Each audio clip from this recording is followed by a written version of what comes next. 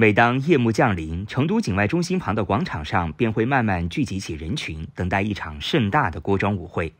十二月二十六号晚上八点，灯光亮起，舞会拉开帷幕。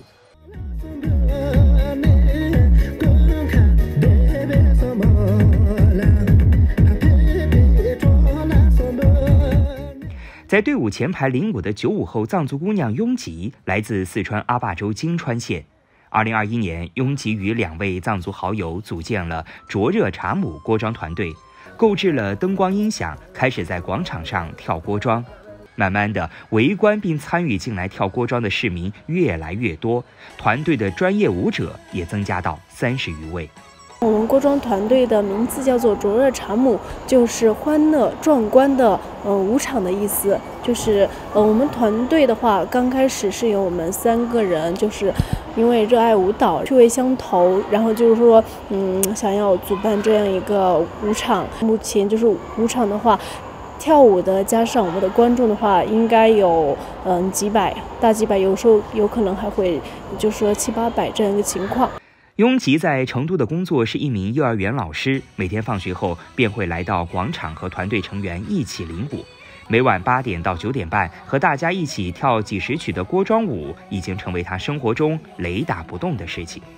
锅庄舞对我意对我的意味着，就是说生命中不可缺少一部分吧。因为我个人的话是非常喜欢和热爱。我们的这个锅庄舞，现在看到就是各民族的朋友们给我的一个反应的话，就是很喜欢我们的一个这个样的一个锅庄舞，然后也有很多的朋友就是来到我们的境外中心与我们一起跳锅庄，然后就是看到这样一个情况的话，就是自己也是发自内心的开心。然后因为有这么多人喜欢我们的一个锅庄舞，也让很多的人就是包括国内国外线上线下的人知道了一个。藏族的一个锅庄舞，然后的话也是非常觉得是一件非常值得的事情。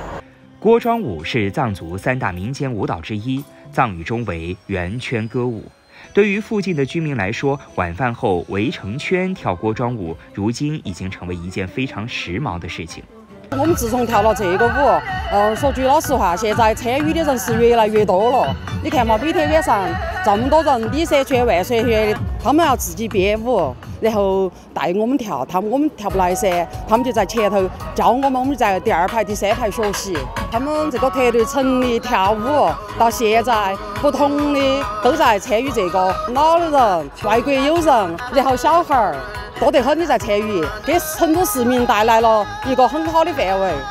那个歌庄的音乐乐器比较好，也有节奏感，给大家带来了生活的愉悦。随着自媒体传播以及附近居民的口口相传，前来学习交流的舞者逐渐增多。